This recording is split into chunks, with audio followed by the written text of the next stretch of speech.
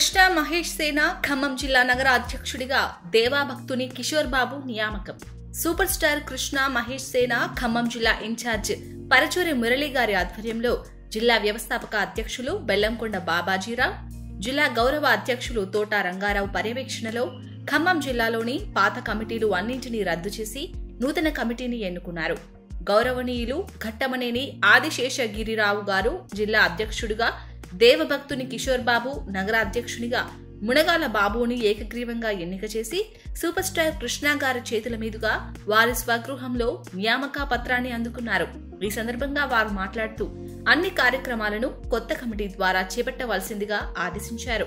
తనను అధ్యక్షుడిగా ఎన్నిక చేసిన ఆదిశేషగిరిరావు గారికి పరుచూరి మురళీకృష్ణ గారికి జిల్లా నూతన అధ్యక్షుడు దేవభక్తుని కిషోర్ బాబు కృతజ్ఞతలు తెలియజేశారు.